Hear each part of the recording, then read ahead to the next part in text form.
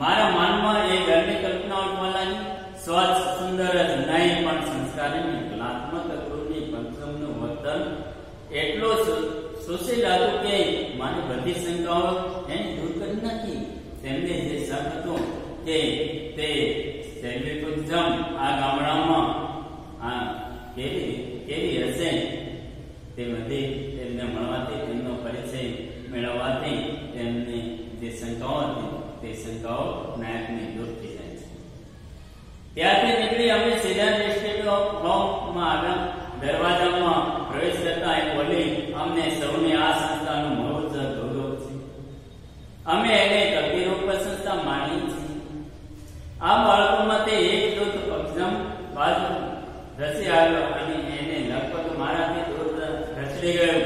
પેલા માઈ મારી પાસે આવ્યો, નમસ્કાર કરી બોલ્યા, તમને હવે પક્ષમ થોડો વખત નહીં મળે થોડા સમય સુધી તે પક્ષમ તમને મળશે નહીં બાળકો સાથે અ, રહે છે એટલે કે એમને બાળકો તેડી ગયા છે આજે બાળકો એને મળ્યા નથી એટલે આ તક મળતા એને સાથે થોડું ખેલી લેશે, મળી લેશે.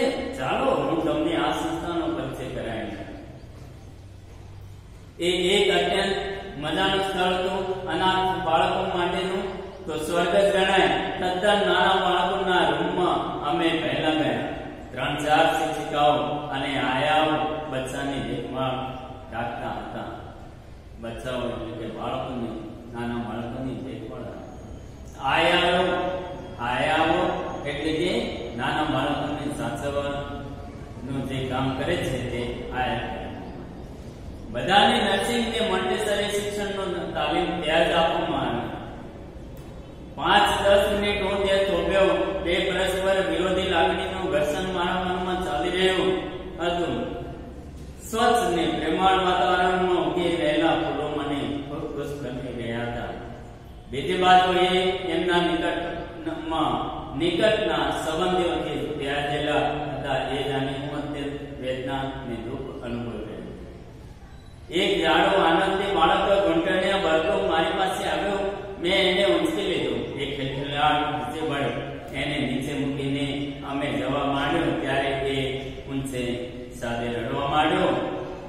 મારું અંતર દ્રવી ઉઠ્યું. તેમનું હૃદય પીગળ્યું. અત્યંત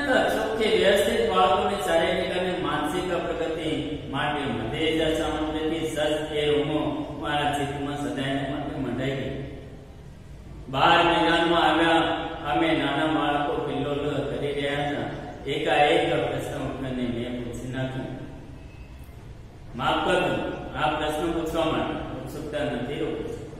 આ બધાના મા બાપોને તમે જ્ઞાત છો આ બાળકોને અહીં કોણ લાવે છે તમે એ બાળકોના માતા પિતા વિશે જાણો છો એ બાળકોને અહીંયા પણ લાવે છે તે તમે જાણો છો. બધા જ ગરીબ વગર પુનિત પાપી દુર્જન સત્સંગ જેના દિલમાં રામ વસ્યો હોય છે તે બાળકનું ગળું ટૂંકવાને બદલે કે રજળ છોડી દેવાને બદલે એને અહીં લઈ આવે છે ગટરમાંથી કુવામાંથી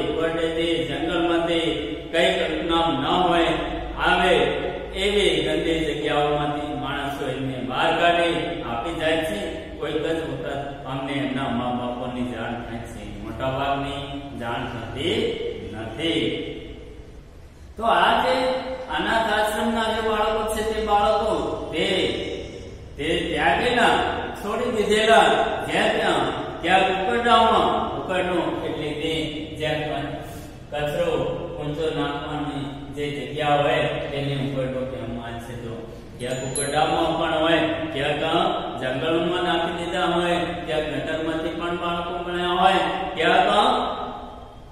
કુવામાંથી પણ આપણને કલ્પના ના હોય એવી ગંદી જગ્યાએથી નાના બાળકો મળી આવતા હોય છે અને કોઈક તે આ આશ્રમમાં મૂકી જતા હોય છે અમે કિશોર લોક બાજુ આગળ વધતા. તમે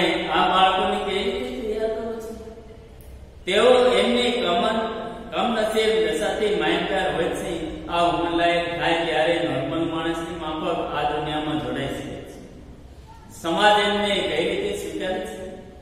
તમારો અનુભવ શું કહે છે?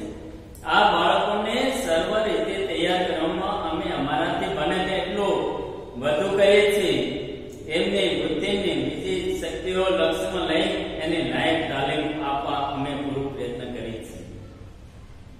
મોટા ભાગે સફળતા મળી છે અમને, પરંતુ કેટલાક બાળકોની બાબતમાં અમે નિષ્ફળ પણ ગયા છીએ.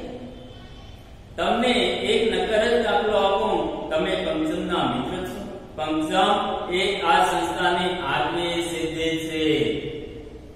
તમે જાણો છો? એનું નામ અમ્માએ જાણી રા- આ રાખ્યું છે. એ કાદવનું કમળ છે. એ આ સંસ્થાનો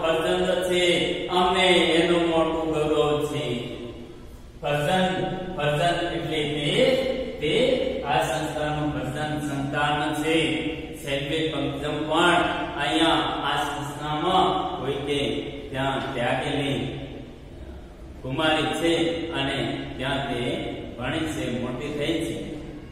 એટલા માટે કહેવામાં છે કે તે તે આ સંસ્થાનું ફરજંદ છે, સંસ્થાનું સંતાન છે અને તેમનું નામ પંકજમ રાખવામાં આવે છે. પંકજમ એટલે કે કાદવનું ઢોળ. કાદવનું કમળ, એવું નામ આપવામાં આવે છે. મારે છાતીમાં વેંગલ ગળાવું ગયું આ સૌમ્યને શાંત છોકરીને જોર શોધવી મુશ્કેલ છે. ભણવામાં એ ફર્સ્ટ ક્લાસ ફર્સ્ટ રહે છે, પ્રથમ રહે છે. એટલું જ નહીં, બીજા ક્ષેત્રોમાં પણ એ નોકરી રહે છે. હું લેખન, સુનર્તન કે સુવક્તૃત્વ તેમને બોલવાની છતાં પણ એવી મહત્વની છે. એ આ સંસ્થાનું પ્રસંગ છે. આ સંસ્થાનું સંતાન છે, એ કાગળનું કમળ છે, માટે એનું નામ પંચમ છે. મારા મનમાં એ શબ્દ આવ્યા. એના મા બાપને તમને જાણ છે ખરી?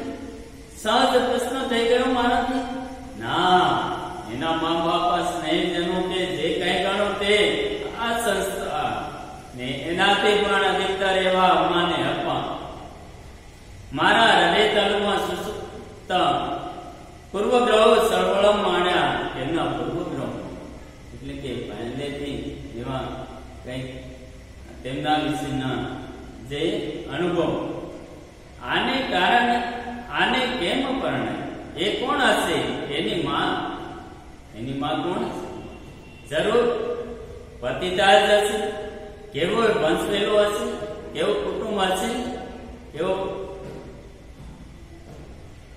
તેમનો વંશ છે ઓ મારું મન કેવું વિરક્ત અમે કિશોર બ્લોક આગળ આવી પહોંચ્યા. નાના વાડામાં પક્ષમ કિશોર કિશોરીને સસલાની સંભાળ કેમ લેવી એના પર સમજૂતી આપી રહી મારી સામે જોઈ એને એક મોહક સ્મિત પહેર્યું, પરંતુ શેખ બની ગયેલા